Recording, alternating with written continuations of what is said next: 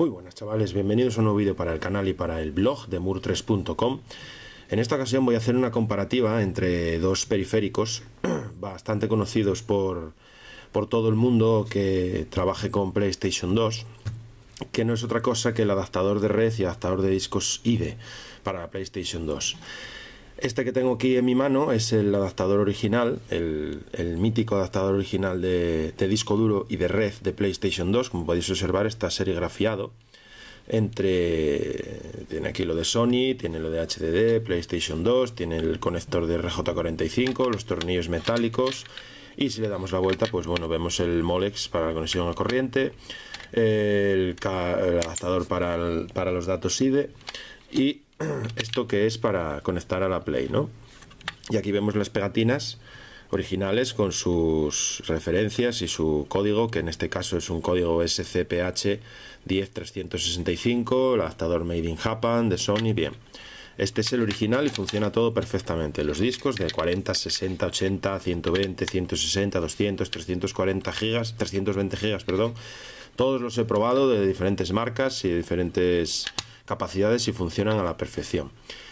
¿Qué pasa con esto? Bueno, pues que este adaptador lógicamente ya se dejó de fabricar hace mucho y es muy complicado de encontrar. Y si lo encontráis, el precio pues es bastante elevado, desde 30 euros hasta 100 euros. Los tengo vistos en, en eBay, ¿vale? Que son auténticas barbaridades. Yo tuve la. Yo tengo dos originales. Tuve la suerte eh, de comprarlo junto con el P6, que era uno de los primeros juegos que tenía modo online, y creo que había una oferta eh, junto con el juego que te salía el adaptador por unos 15 euros o algo así, no dudé en comprarlo y lo tengo.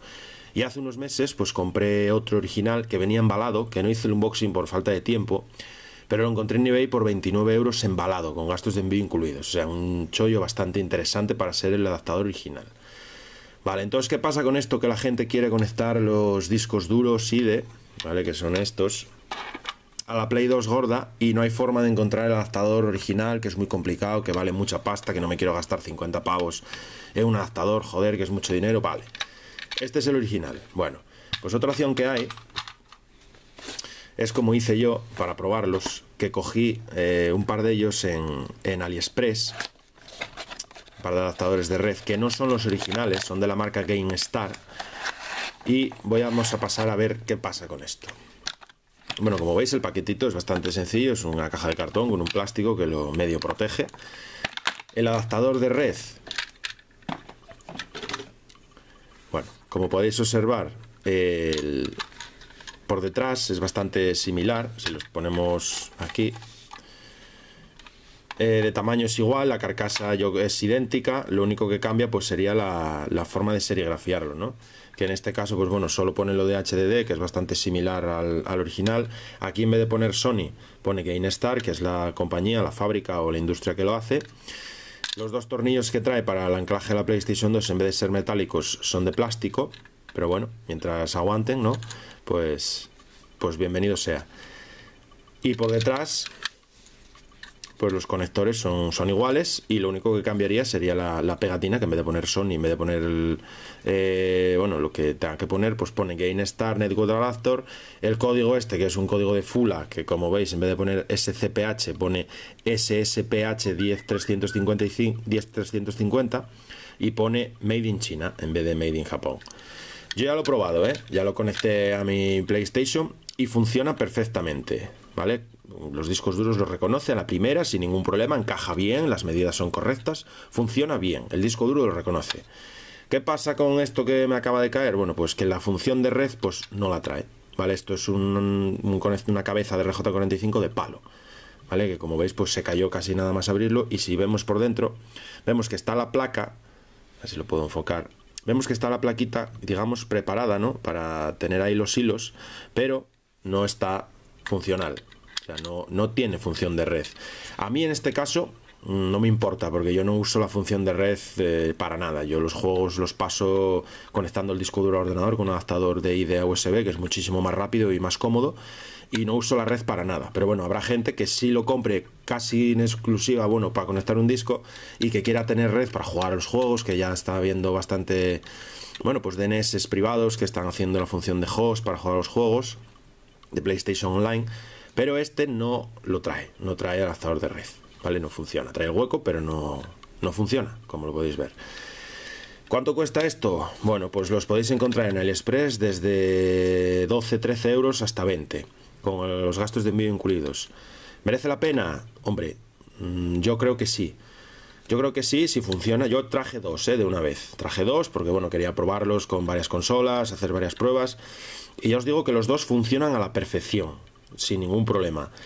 Eh, a mí personalmente me compensa. O sea, yo si, ahora mismo necesitara comprar un adaptador de red, mm, a no ser que encuentre un chollo por eBay como me pasó con uno, no voy a pagar 50 o 40 euros o 35 por, por un adaptador de red original, que es lo que está pidiendo ahora la gente por ellos.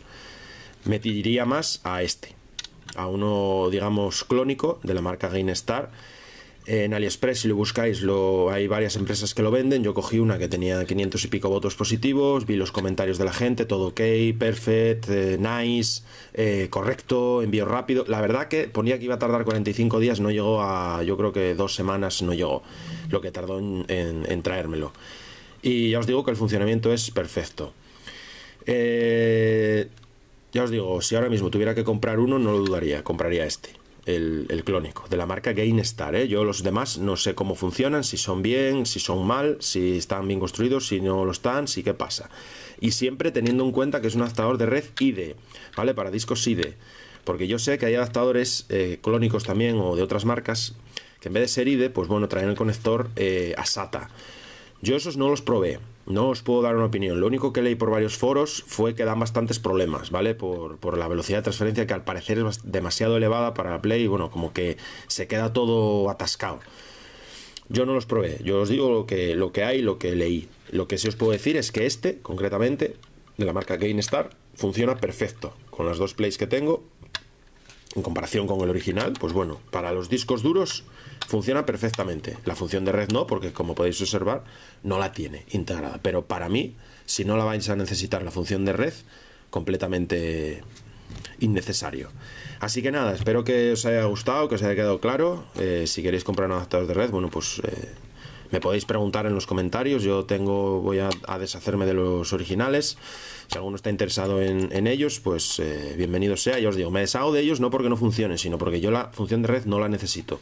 Entonces, bueno, me cogí estos y pues bueno, los originales pues me sacaré unas pelillas por ellos y quien los necesite, pues mira, va a tener suerte. Entonces, bueno, si os interesa, contactáis conmigo por los comentarios o por mensajes o por correo electrónico o en el blog o en Twitter, donde queráis, y pasamos a tratar los temas que sean necesarios. Lo dicho, eh, la semana que viene, dentro de unos 15 días, eh, subiré unos vídeos sobre la PlayStation 2 también, estar atentos, porque voy a, a mostrar cómo realizar la instalación del FreeMC Boot en su versión FreeHD Boot, ¿vale? Habéis oído bien para instalarlo directamente en el disco duro, sin necesidad de tarjeta de memoria. Eh, esto es algo que descubrí hace un par de semanas, que bueno, ya lleva muchos años rulando por ahí, pero bueno, no es tan famoso como el FreeMCBoot a la tarjeta de memoria. Y a mí me parece un sistema mucho más sencillo de, hacer porque lo único que necesitas es un disco duro y poder conectarlo a un ordenador y un adaptador de red, lógicamente. No necesitas que la Play esté pirateada ni modificada ni necesitas un colega que te pase los ficheros de una tarjeta a otra, como expliqué en varios vídeos. No, no, simplemente coges un disco duro IDE, como este, lo conectas al ordenador bien por el conector interno, bien por un adaptador USB, como tengo yo, le cargas una imagen directamente aquí, que es la del FreeHD Boot 193, que ya viene con programas incluidos, viene con el SR, con el OPL, con el SMS, con un servidor FTP lo conectas a la Play con un adaptador de red y ya tienes el FreeHD Boot instalado directamente en el, en el disco duro. Eso es lo que voy a tratar dentro de un par de semanas, cuando prepare bien todo el tema, los vídeos, los programas que necesitamos. Bueno, lleva su tiempo. Y la instalación, yo os digo, es muy sencilla y muy rápida. Os va, os va a encantar. Así que nada, eh, lo dejo que me estoy alargando mucho. Cualquier cosa, los comentarios de los vídeos y espero que os haya gustado. Nos vemos en breve. Chao.